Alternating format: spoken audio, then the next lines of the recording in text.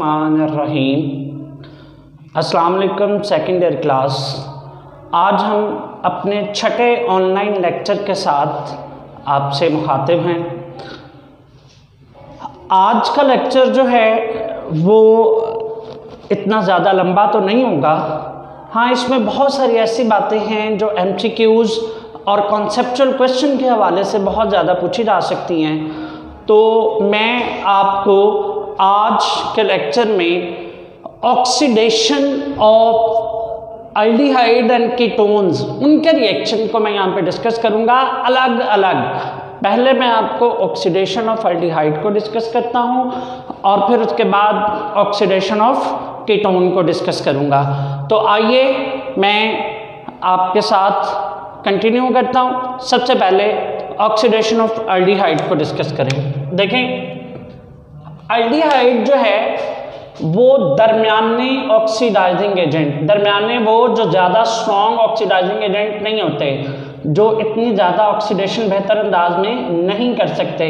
लेकिन अल्डिहाइड के अंदर ये सलाहियत है कि वो माइल्ड दरमियाने ऑक्सीडाइजिंग एजेंट कौन कौन से हो सकते हैं, इनके नाम ऑलरेडी आप chapter number twelfth, ninth class की टेंथ क्लास की केमिस्ट्री की बुक में इसको देख भी चुके हैं। नहीं सॉरी इलेवन चैप्टर में। और इसमें आप ये देख चुके हैं, जैसे टॉलन्स रिएजेंट फैलिंग सोल्यूशन और बेनेडिक्ट सोल्यूशन ये तीन सोल्यूशन ऐसे हैं जो माइल्ड ऑक्सीडाइजिंग एजेंट हैं। और इनके साथ भी ऑक्सीडाइज हो जाता है। और उसके बाद दूसरे जो स्ट्रॉन्ग ऑक्सीडाइजिंग एजेंट हैं वो कौन कौन से हैं? उनमें अगर आप देखें तो strong oxidising agent like potassium dichromate in the presence of acid potassium permanganate in the presence of sulphuric acid and dilute nitric acid ये कन्वर्ट होते हैं आ, ये कन्वर्ट करते हैं अल्डीहाइड को किसमें? कार्बोक्सिलिक एसिड में। कैसे करते हैं? ऊपर ज़रा देखें। तो इसमें ये होता है कि जो हाइड्रोजन जो अल्डीहाइड के साथ अटैच होती है, वो ऑक्सीडाइज होकर किसमें कन्वर्ट हो जाती है? ओ OH ग्रुप में। किसमें कन्वर्ट हो जाती है? ओ OH ग्रुप में ये ऑक्सीडाइज होकर ओ OH ग्रुप में कन्वर्ट हो जाती है। अब अगर आप गौर करें तो अब इसकी कुछ एग्जांपल्स अगर आप देख लें तो बड़ी सिंपल सी एग्जांपल है एल्डिहाइड की। है क्या? आपके पास ये एस्टल्डिहाइड था। एस्टल्डिहाइड की ऑक्सीडेशन हुई किसने की? स्ट्रॉन्ग ऑक्सीडाइजिंग एजेंट ने। वैसे तो माइल्ड भी कर सकते हैं, लेकिन हम यहाँ पे जो ऑक्सीडेशन डिस्कस करेंगे, वो वीक माइल्ड की करेंगे। और सॉरी स्ट्रॉन्ग की करेंगे।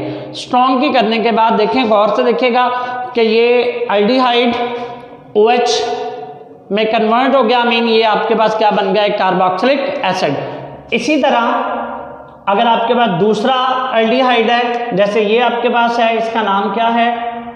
प्रोपाइन अल्डीहाइड प्रोपाइन अल्डीहाइड अब ये ऑक्सीडाइज होगा, वही स्ट्रॉन्ग ऑक्सीडाइजिंग एजेंट से तो ये भी किसमें कन्वर्ट हो जाएगा? कार्बोक्सिलिक एसिड में. और ये जो कार्बोक्सिलिक एसिड बनेगा, इसका नाम क्या होगा? प्रोपा, नोइक, एसिड। तीन कार्बन है ना वन टू थ्री तो प्रोपानोइक एसिड में कन्वर्ट हो जाएगा। तो उसके बाद अगर आप गौर करें तो एक चीज़ इन दोनों रिएक्शन में ज़रा गौर करें कि जितने number of carbon atom aldehyde में थे, उतने ही number of carbon atom carboxylic acid में। इट मींस कि जब ऑक्सीडेशन होती है तो जो पेरेंट अल्डिहाइड के नंबर ऑफ़ कार्बन हैं और कार्बोक्सिलिक एसिड जो बन रहा है, उसके नंबर ऑफ़ कार्बन आइटम की तादाद क्या होती है? सेम होती है। अब इसी तरह, दूसरे तो नंबर पे हम लोग ऑक्सीडेशन ऑफ़ कीटोन को डिस्कस करेंगे। ऑक्सीडेशन ऑफ़ कीटोन को डिस्कस करने से पहले, मैं आपको कुछ जो है वो पॉइंट्स बताना चाहता हूँ। और उन पॉइंट्स में अगर आप गौर करें तो पहला पॉइंट ये होता है कि ketone does not oxidised easily इतने ज़्यादा आसानी से ऑक्सीडाइज नहीं होते। क्यों? क्योंकि इसमें हमें कार्बन कार्बन का स्ट्रॉन्ग बॉन्ड तोड़ना पड़ता है। जिस वजह से हम लोग स्ट्रॉन्ग सॉरी इसको कीटोन को आसानी से ऑक्सीडाइज नहीं कर सकते। तो इसीलिए हम लोग इसके लिए फिर क्या करेंगे? फिर स्ट्रॉन्ग ऑक्सीडाइजिंग एजेंट यूज़ करेंगे। ठीक है माइल्ड ऑक्सीडाइजिंग एजेंट तो ये रिएक्शन नहीं देगा। आगे वो वही बात उसने लिखी हुई है। नो ऑक्सीडेशन टेक प्लेस कोई भी, कोई ऑक्सीडेशन नहीं होती। बाय माइल्ड ऑक्सीडाइजिंग एजेंट कौन से माइल्ड ऑक्सीडाइजिंग एजेंट है? मैंने आपको पहले बता दिए टॉलेंस रिएजेंट फैलिंग सोल्यूशन और बेनेडिक्ट सोल्यूशन ये फैलिंग के स्पेलिंग ज़रा गौर से देख लीजिएगा एच ठीक है?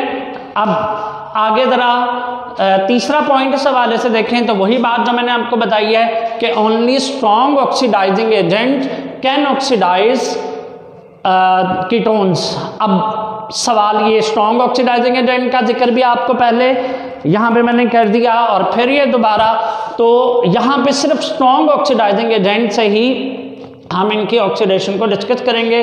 अब सवाल ये पैदा होता है कि ऑक्सीडेशन ऑफ़ कीटोन होती कैसे है? ऑक्सीडेशन ऑफ़ कीटोन होती ऐसे है कि carbon atom with less number of hydrogen preferentially oxidised preferentially का मतलब क्या होता है? आसानी से ऑक्सीडाइज हो जाता है, जिसके पास हाइड्रोजन एटम कम हो। अब ये किस सूरत में होगा जब आपके पास एक अनसिमेट्रिकल अल्कीन होगा? अगर आप इसकी एग्जांपल देखना चाहते हैं तो ये आपके पास इसकी एग्जांपल मौजूद है। अगर आप इसकी इस एग्जांपल को गौर से देखें तो हुआ क्या है? Carbon with less number of hydrogen bond और कार्बन एल कार्बन का ये बॉन्ड टूटेगा। और ये बॉन्ड टूटने के बाद ये भी किसमें कन्वर्ट हो जाएगा? कार्बोक्सिलिक एसिड में। और ये भी किसमें कन्वर्ट हो जाएगा? कार्बोक्सिलिक एसिड में। तो आपके पास एक मिक्सचर ऑफ़ कार्बोक्सिलिक एसिड बनेगा और इस तरह अल्डिहाइड्स जो हैं सॉरी कीटोन जो हैं, किसमें कन्वर्ट हो जाएँगे?